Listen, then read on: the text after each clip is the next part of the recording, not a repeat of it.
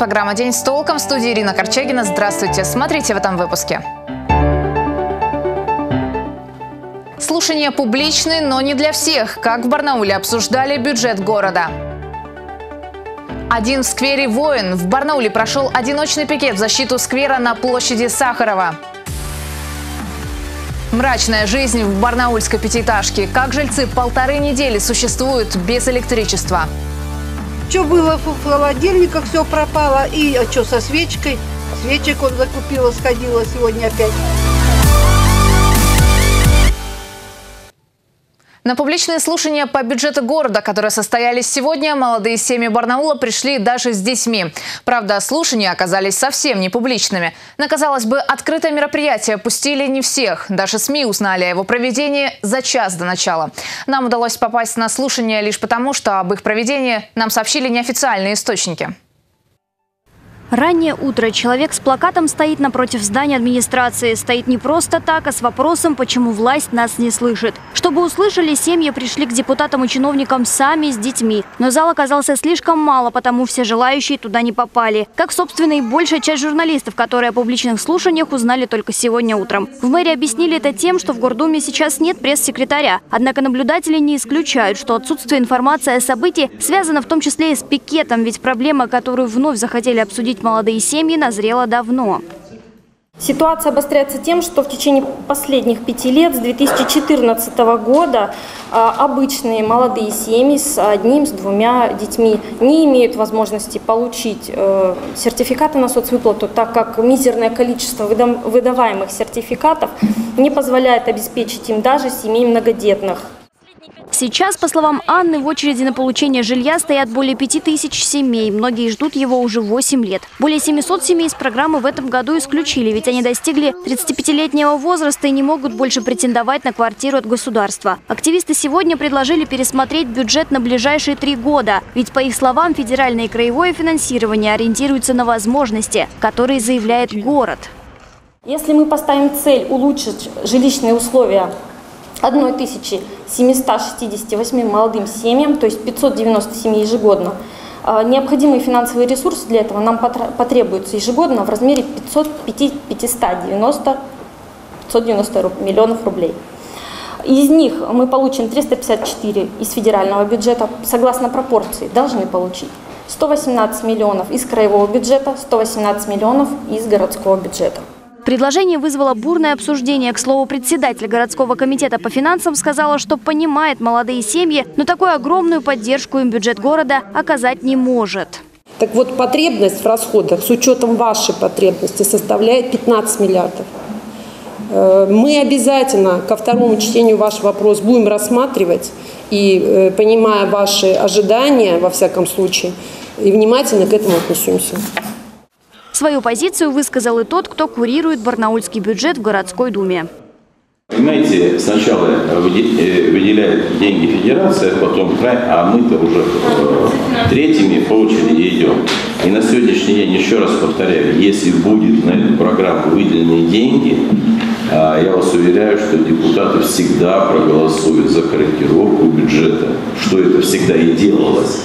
И деньги на эту программу будут выделены.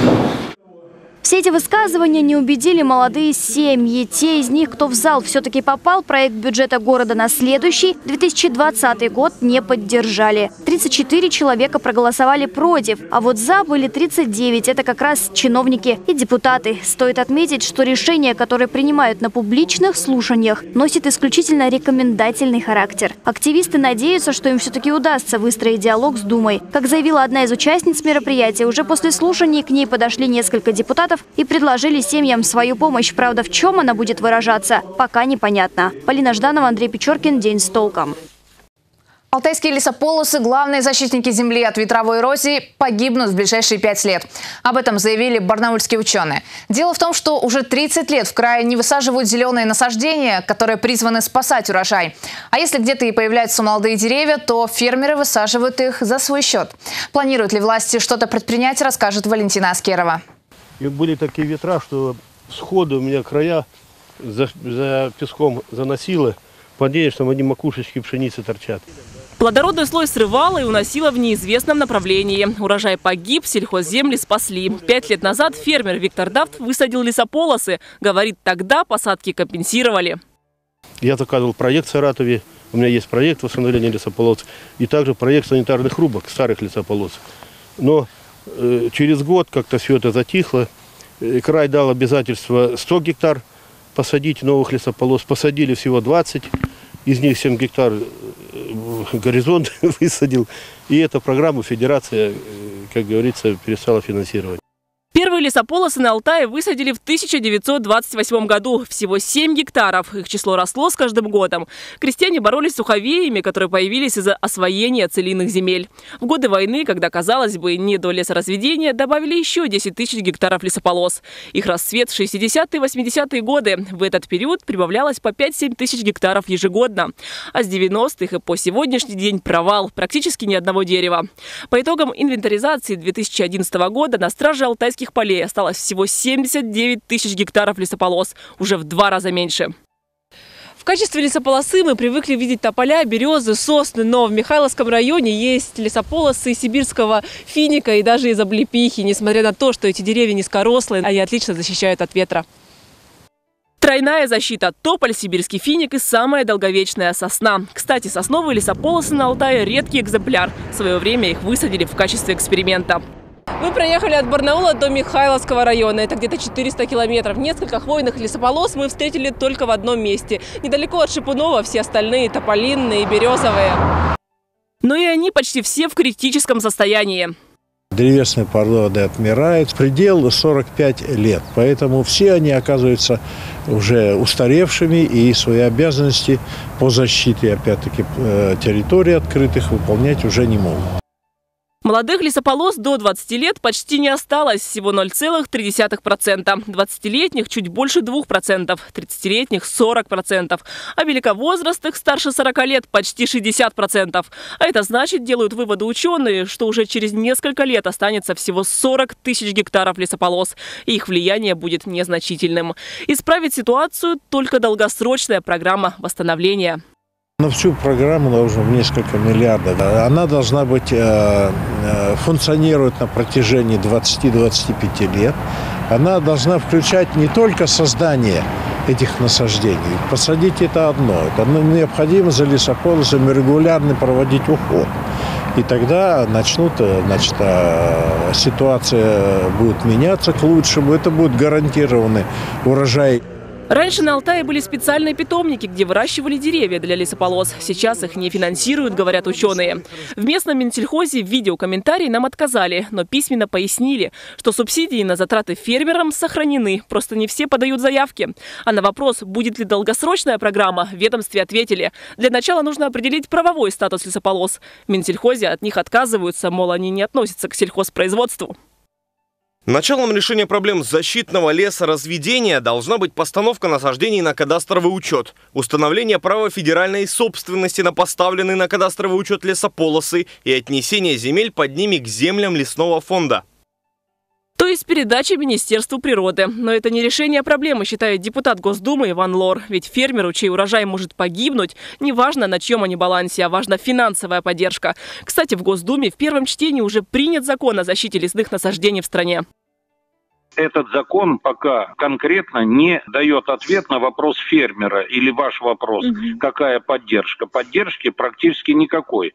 Но кроме того, сразу прописана ответственность. То есть получается, не дав ни рубля, э, на завтра еще и будут наказывать э, тем, кому свалилось это, как говорится, богатство в одночасье, то есть фермерам, э, на территории которых будут лесополосы. Закон требует доработки, добавляет Иван Лор и поясняет, что проблему лесополос должны урегулировать на федеральном уровне уже в течение года. Если этого не произойдет, то есть все шансы повторить историю 50-летней давности, когда пыльные бури в Кулудинской зоне сорвали 20 сантиметров плодородного слоя почвы, который, к слову, восстанавливается тысячелетиями. Так что пока остается спасать землю в одиночку и тратить из собственного кармана 100 тысяч рублей на один гектар лесополосы. Через год-два мы делали подсадку, вот видите, ну все, принял, сосеночка пошла. Валентина Аскерова, Алексей Фризин. День с толком.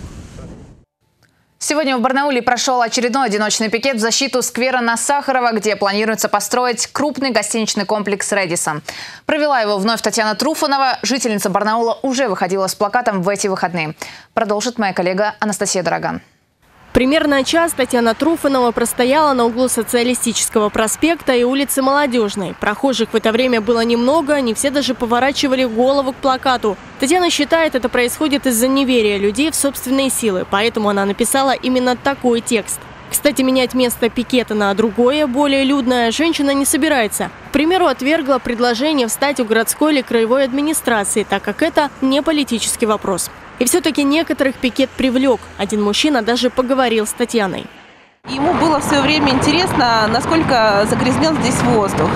Он взял специальный прибор и измерил. Четыре с половиной раза превышает уровень КПД в четыре с половиной. И он говорит, если сквера здесь не будет, то будет вообще очень все грустно. А полицейские как отреагировали? Полицейские отреагировали очень дружелюбно.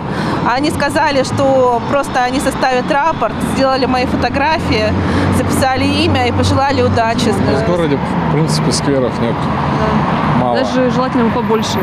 Парков, скверов побольше. А вот Галина Абрамова живет рядом со сквером. Она считает, если появится гостиница, жильцам ее дома негде будет даже прогуляться. Кстати, бороться за сквер эта женщина начала еще летом. Пошла по гостиницам, спросила, как у вас заселяемость. Они говорят, на 30% всего заселяем. Собирается гостиницу строить, в гостиницу. Потом прошла по всем инстанциям, хотела пройти туда, протолкнуться. Там записи нет у Томенко. У него в сентябре не было, и в октябре нету записи. Туда нырнуть мы никак не можем. Она же сообщила, что в выходные был еще один одиночный пикет. За сохранение сквера выступал мужчина. А сегодня Галина Абрамова сама поддержала Татьяну Труфанову. Позже плакат взяла еще одна жительница Барнаула. Продолжит ли Татьяна сплачивать людей ради сохранения сквера, она пока сказать не может. Анастасия Дорога, Николай Шелко. День с толком. Полторы недели целый подъезд барнаульской пятиэтажки живет без света. В доме на Георгия Исакова пожар вспыхнул 13 октября. Загорелся щиток на первом этаже. С тех пор жильцы пытаются добиться возвращения света в квартиры, но пока безуспешно. Жителям подъезда приходится устраивать романтики и ужинать при свечах. Когда все это закончится, расскажет Дарья Демиллер. Все пропало. Все пропало. Со что свечкой. Было, что было в холодильниках, все пропало. И а что со свечкой? Свечек он закупила, сходила сегодня опять. Фонарик купила, вот не знаю, насколько хватит. Ужин, ванны и вечерние разговоры при свечах для жителей четвертого подъезда дома на Георгия Исакова 113 не прихоть, а неизбежность. Уже полторы недели люди живут во мраке. После пожара в квартирах до сих пор стоит запах гари. Также пахнут вещи в шкафах. У многих и стены в копоте. Все горело тут, все внутри там все, сажа кругом, грязно все.